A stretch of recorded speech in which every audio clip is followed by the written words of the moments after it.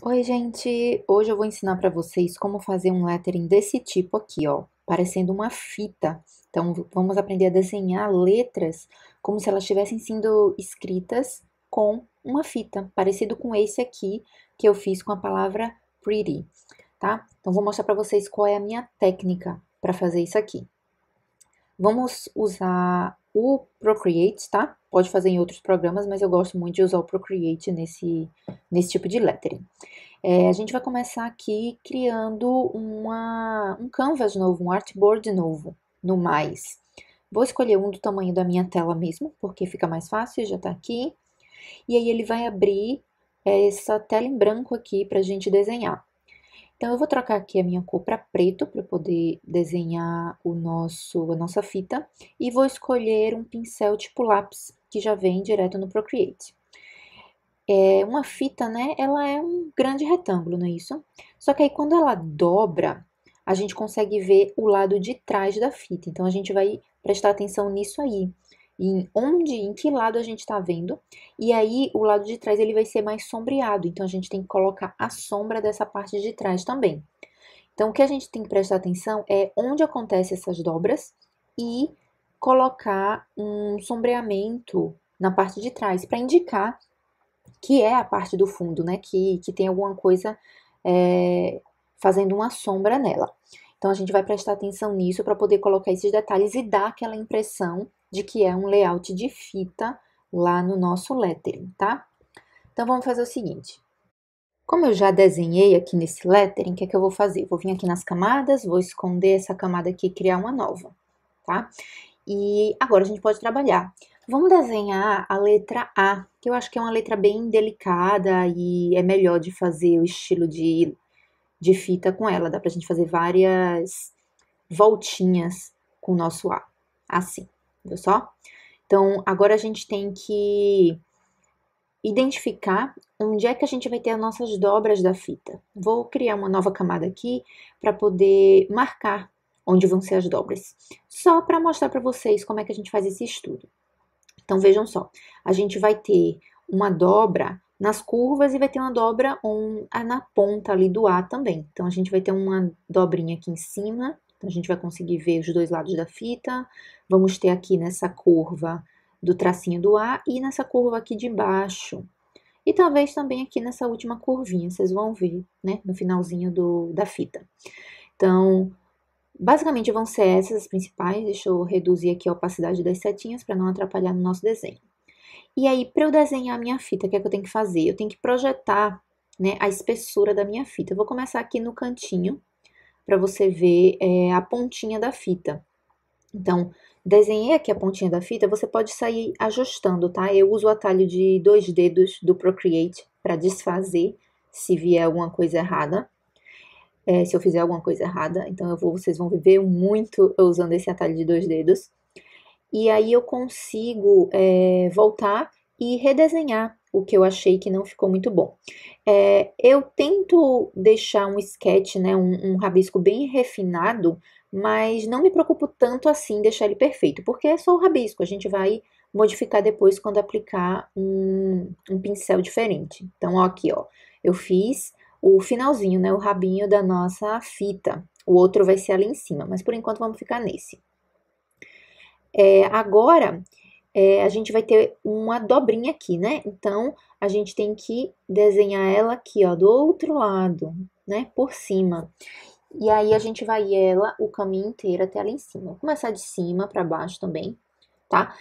Tenta manter sempre uma espessura parecida para sua letra, tá? Tenta manter ela o mais parecida possível é, para ficar mais orgânico, não precisa ficar perfeito, não precisa ficar sempre a mesma espessura, porque uma fita, né, a gente vê ela com uma certa perspectiva, então ela varia um pouco de espessura no nosso olho.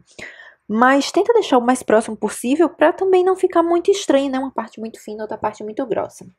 Então, fizemos aqui um pedaço da nossa fita no nosso A. É, essa fita, ela tá dobrando aqui em cima, então vai ser uma dobra bem brusca, né? Não vai ser uma curva que nem nas outras. E agora a gente vai continuar aqui fazendo o rabisco para continuar a fita, ó. Veja que eu encerro ela ali embaixo porque a gente tem uma curva, então a gente vai ter uma dobrinha ali, né? Muito provavelmente. Então, vamos ter mais uma dobrinha aqui embaixo. E aí, é, o mais delicado na hora de fazer esse design de fita é justamente acertar, né, onde essa dobrinha fica, é, mais como, como é essa dobrinha, né? Como ela se curva. Mas aí vocês podem sempre voltar e ajustar um pouquinho se vocês acharem que depois que vocês colocaram os dois lados da fita não ficou bom. Eu acho que assim tá legal, né? Ela ficou bem dobradinha. Agora, a gente vai fazer aqui do outro lado para indicar o lado de trás, né? Ou o outro lado da nossa fita. Então, faço de novo, ó, vamos ter outra dobrinha aqui em cima, que a gente já tinha marcado.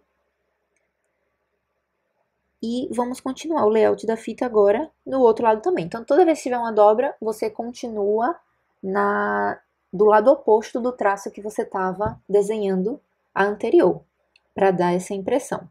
Então, vê que teve uma dobrinha a mais que a gente colocou aqui em relação ao que a gente tinha planejado no começo, né? O que eu tinha planejado. Eu botei setinhas, mas não, não tinha colocado a setinha nessa dobrinha aqui de baixo.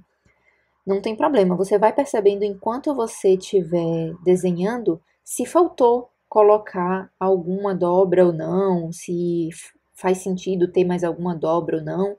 Você vai percebendo conforme você for desenhando, você vai ver se faz sentido é, aquele, aquele fluxo da fita ou se tá estranho, se parece que deveria ter dobrado em algum lugar que não dobrou, tá?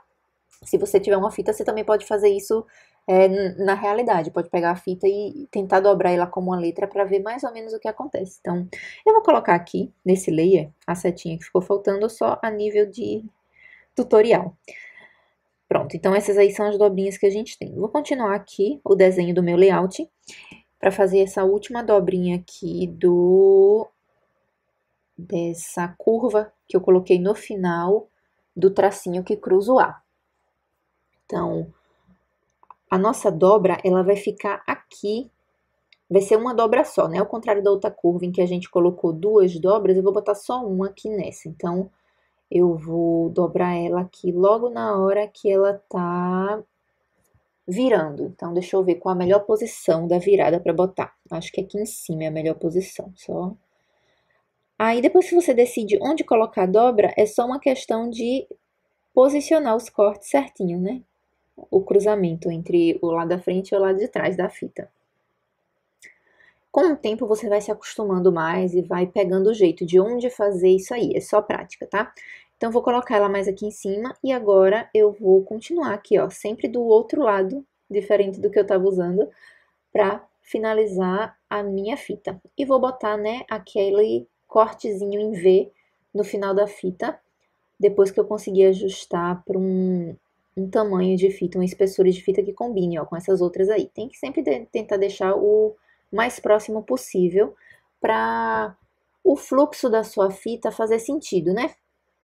E agora, deixa eu finalizar aqui a nossa fita, colocar o nosso corte em V ali no finalzinho dessa fita também, para finalizar que nem a outra ponta que a gente fez lá embaixo. E aí a gente pode começar a finalização do desenho, né? Ou seja, colocar cor, né? Colocar sombreamento, deixar ele mais bonitinho. Então, você pode sair ajustando. Eu sempre gosto de tentar ajustar ao máximo o, os cruzamentos, os cortes e verificar que lado vai ficar em cima de que lado, porque aí na hora que eu for aplicar a cor e aplicar as sombras, eu já sei o que é que é por cima, o que é que é por baixo, o que é que vai levar sombra, o que é que não vai tá? Então veja que eu apaguei aqui os cruzamentos entre fitas para ver o que é que tá passando por cima do que. Então, agora a gente tem o rabisco, ó, vê que você já consegue ver o layout da fita aqui. O que, que a gente vai fazer agora? A gente vai adicionar cor. Então, põe uma camada nova, tá? Sempre trabalhe em novas camadas para ser fácil de corrigir se precisar. E eu vou pegar uma cor rosinha, né? Então, já que a gente tá fazendo um desenho delicado, eu vou fazer uma cor delicada também. E eu quero trocar um pouco esse rosinha, deixar ele mais escuro. Então, eu venho aqui nas ferramentas de cor e saio modificando né, os parâmetros. Aí você pode brincar com os parâmetros para escolher qual é o parâmetro que vai ficar melhor de cor. Vou pegar agora uma caneta, vou pegar a caneta Monoline. Ela fica aqui no Procreate, é uma das que já vem com Procreate. Eu vou pegar ela nessa cor rosa que eu escolhi e eu vou só fazer agora o contorno da nossa letra, né? Lembra sempre de verificar se você está na camada certa e o que eu vou fazer aqui é baixar a opacidade para não ficar muito escuro, né? O rabisco que a gente fez. A gente só quer ele de referência agora para poder desenhar. Então, o que é que eu vou fazer? Eu vou cobrir aqui agora só o contorno, tá? Então, não se preocupa em cobrir as dobrinhas, nada. Você só quer o contorno externo, o mais externo possível. Eu gosto de mexer aqui no Streamline da caneta, porque aí ele suaviza automaticamente o seu traço, né? É, eu tô desenhando aqui numa tela de vidro, então para mim é melhor que tenha essa suavização, porque minha caneta fica escorregando. Então tá, vamos lá, vamos cobrir todo o contorno. Então veja, eu não tô indo para aquelas dobrinhas dentro da fita, eu só quero o contorno.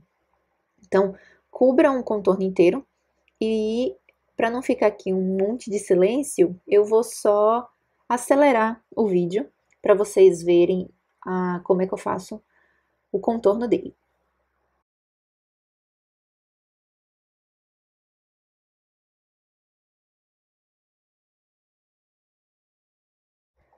Então, vê só. Agora a gente está só com o contorno feito.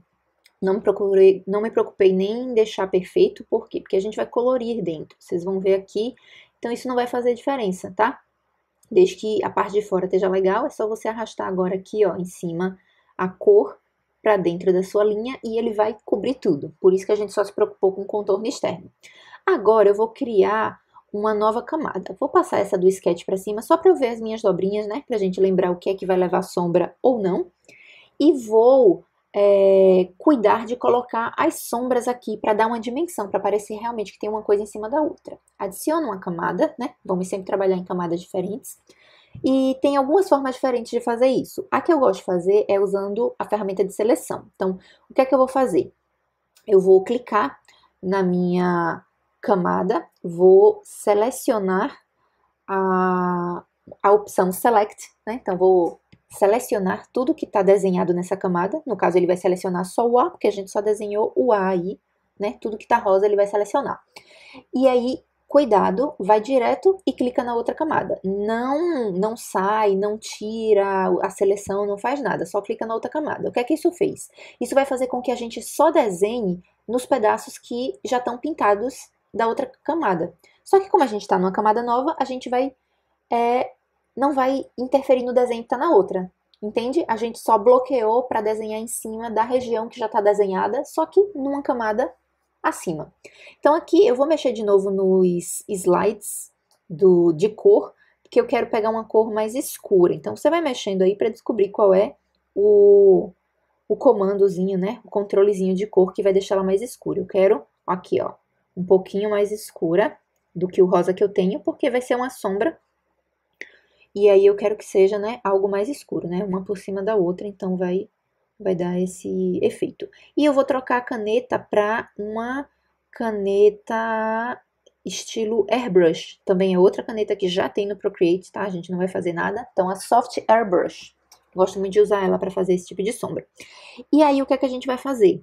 Eu vou ir na região das minhas dobras com uma opacidade bem baixinha aqui, ó, e com um tamanho relativamente alto, e eu vou começar a colocar sombra nas minhas dobras, né? Ou onde uma passa por cima da outra. Então você vai ver aí, vai decidir o que é que você quer que fique por cima, né? Você meio que já decidiu lá no sketch, no rabisco, que nem eu fiz aqui, né? Eu já apaguei é, alguns traços para deixar mostrando, né, que esse traço do meio vai ficar por cima, enfim. Então aí eu vou passar aqui agora. Se você perceber que não está fazendo muito efeito a, a sua caneta, pode ser porque a sua opacidade não está, porque ela está muito baixa, ela não está ideal. Então você pode ir lá e modificar a opacidade, aumentar um pouquinho para dar para ver melhor. Mas eu nunca aumento tanto, por quê? Porque eu quero construir essa opacidade. Então eu vou passando vários traços para deixar o lado, o pedaço mais perto da dobrinha mais escuro do que o que vai né, se afastando da dobrinha, para dar essa impressão realmente de sombra. E aí eu vou repetir isso em todas as dobrinhas daqui para frente. Então, aqui também tem, certo? Nesse mesmo, nessa mesma área. E aí eu tento dar uma escurecida. Não dá para você ver tanto porque o nosso sketch também está interferindo. Mas, ó, o que, que eu vou fazer aqui? Eu vou apagar a parte que deveria ser a frente do meu, da minha fita, ó. E deixo só a dobrinha. Deixa eu desmarcar aqui a camada, ó. Agora vocês conseguem ver sem o sketch, né? Ó, ver só que ele deu uma sombreada. Se você achou que tá muito claro, em vez de desfazer e refazer, deixa que eu vou te ensinar depois como dar uma escurecida nessa, nessa sombreamento aí. Então, você só faz isso, né? Faz a sombra e apaga, né? Para dar essa, esse destaque, né? Essa divisão de, do que é o lado da frente e o que é o lado de trás. E ver que dá mesmo uma divisão. Então, o que, é que a gente vai fazer agora? Fazer a mesma coisa para todas as outras regiões em que tem uma dobrinha ou que uma fita passa por cima da outra. Então, vou de novo acelerar só para vocês me verem fazendo isso aí.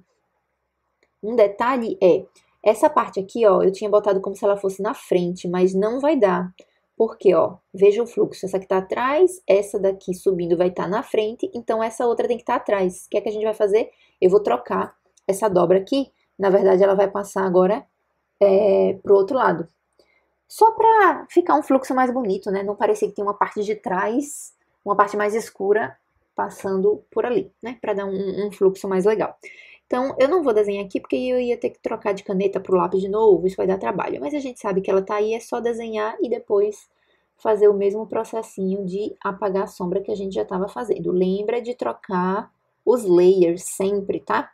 Porque senão você confunde e acaba pintando no, na camada errada, e aí se der erro você não consegue corrigir direito. Então, sempre lembra de trocar. Deixa eu pintar aqui essa sombra?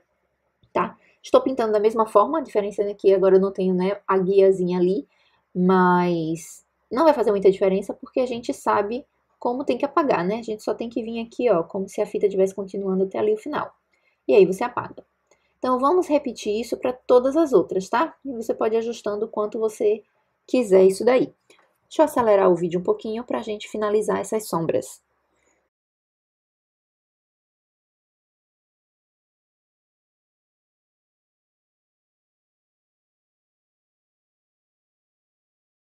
Pronto, e aí quando você termina que você tira o seu rabisco, você consegue ver, né, se faltou alguma coisa para apagar, se precisa corrigir é, algum detalhezinho, ó, vê que aqui eu não apaguei direito, né? Então, eu vou dar uma melhorada aqui em, até onde vem a minha sombra. Então, isso aqui você pode detalhar depois, tá? O importante é só você ter o, a indicação de onde, que pedaço da fita vai passar, para poder você depois, né, ajustar. Então, deixa eu ajustar aqui todos esses pedacinhos da fita que ficaram com a sombra que não deveria. E a gente pode finalizar o nosso, o nosso lettering, tá? Faltam só alguns detalhezinhos. Deixa eu corrigir aqui onde tem mais sombra. Eu mexo um pouquinho aqui no pincel para deixar ele mais fluido, maior, para poder apagar mais coisas dependendo né, da área que você tem que apagar, às vezes é me melhor você deixar um pincel pequenininho mesmo, porque aí você consegue pegar mais detalhe.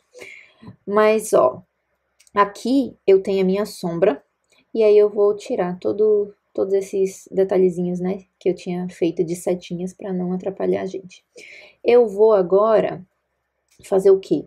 É, ah, você achou que a sua sombra está muito clara, olha aí, eu dupliquei, ela já deu uma escurecida na minha sombra, então você pode sair duplicando, e aí ela vai botar mais sombra em cima de sombra. Então, no final, você vai ter algo mais escuro do que você tinha antes. Então, dá um destaque maior na sua sombra. Depende do quanto você quer disso. E aí, ó, você vê que tem mais alguns pedacinhos para serem apagados. Eu vou mesclar, ó, só juntando com os dois dedos todos os layers de sombra que eu criei e vou pegar de novo a borracha e ir apagando essas partes aqui que ele acabou de me mostrar que eu não tinha apagado direito, né?